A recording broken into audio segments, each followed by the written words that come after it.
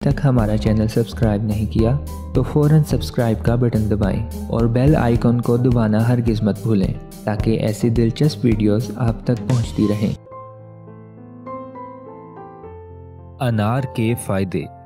इसको खाने से जिसम सेहतमंद होता है और मुख्तलिफ़ अमराज का ख़तरा कम होता है।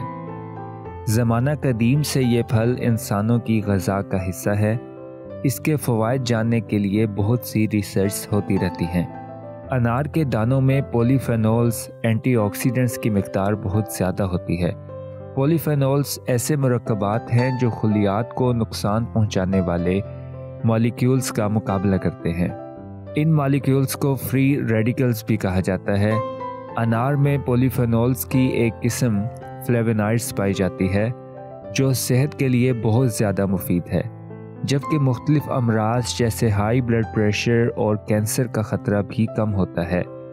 अनार के दानों से भरे आधे कप से जिसम को पाँच ग्राम फाइबर मिलता है, जो दिन भर के लिए दरकार मकदार के 18 फ़ीसद हिस्से के बराबर है।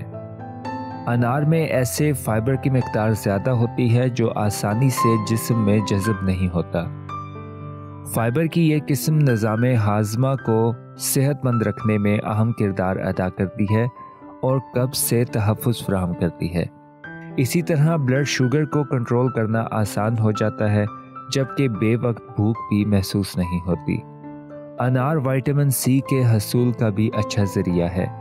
अनार के दानों से भरे आधे कप से 9 मिलीग्राम विटामिन सी जिस्म का हिस्सा बनता है।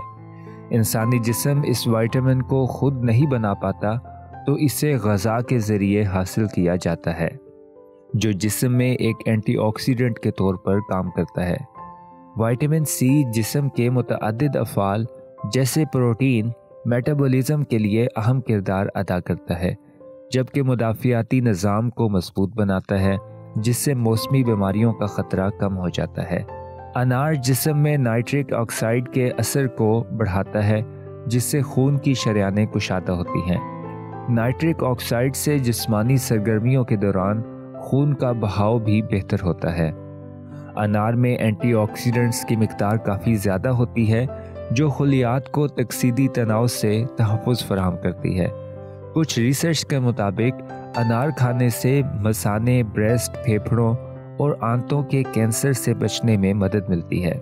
अनार में मौजूद एंटीऑक्सीडेंट्स जिस्मानी वर्म की सतह में कमी लाने में मददगार हैं। रिसर्च के मुताबिक, अनार के जूस को पीने से वर्म का बायस बनने वाले अनासर की रोकथाम होती है।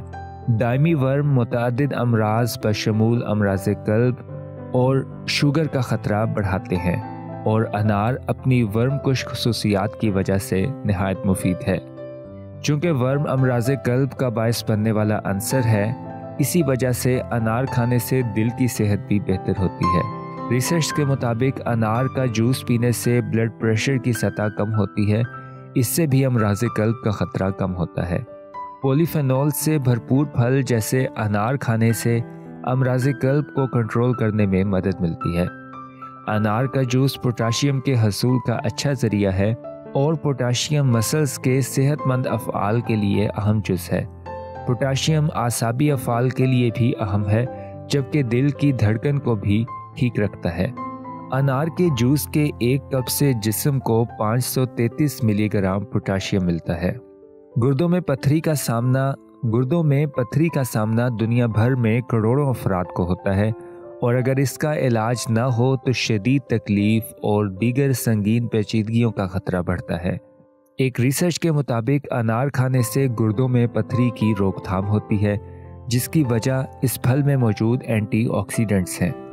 रिसर्च के मुताबिक शुगर टाइप टू के मरीज़ अगर अनार के जूस को पीना शुरू कर दें तो इंसुलिन की मजामत में कमी आ सकती है, जिससे शुगर की मुख्तलिफ़ पेचीदगियों का ख़तरा कम होता है। शुगर से महफूज अफराद को इस फल से अपने जिस्मानी वज़न को सेहतमंद सतह पर रखने में मदद मिलती है, जिससे शुगर से मुतासर होने का इम्कान भी कम होता है।